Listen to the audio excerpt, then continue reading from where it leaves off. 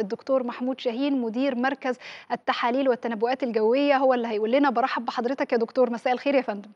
مساء النور أهلا بحضرتك. أهلا بحضرتك. نطمن بقى النهارده إيه أخبار حالة الجو لحد آخر اليوم كده؟ إيه اللي هيحصل بإذن الله؟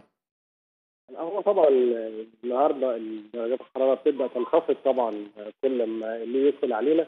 كل ما درجات الحرارة تنخفض في فترات الليل يكون من بارد لشديد البرودة على كافة أنحاء الجمهورية. طبعا في اختلاف الأيام اللي جاية دي بين درجة الحرارة العظمى والصغرى. يعني متوقع بكرة عظمى على القاهره 23 درجة زي ما حضرتك ما ذكرتي والصغرى ما بين 14 ل 15 درجة ففرق كبير. درجة الحرارة بين العظمى والصغرى.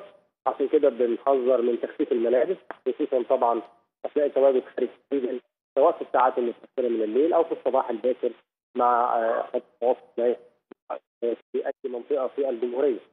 بالإضافة إلى كده الأجواء مستقرة تماما سبوره مائية خفيفه في الصباح الباكر سواء في القاهرة أو محافظات الوجه البحري مدن القناه بتسمح بحركة السفر إن شاء الله الرؤية مش هتكون فيها مشكلة بالنسبة لسائقي المركبات.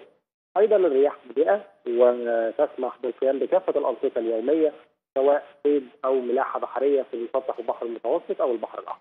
بشكر حضرتك شكرا جزيلا. الدكتور محمود شاهين مدير مركز التحاليل والتنبؤات الجوية شكرا جزيلا على التفاصيل يا دكتور.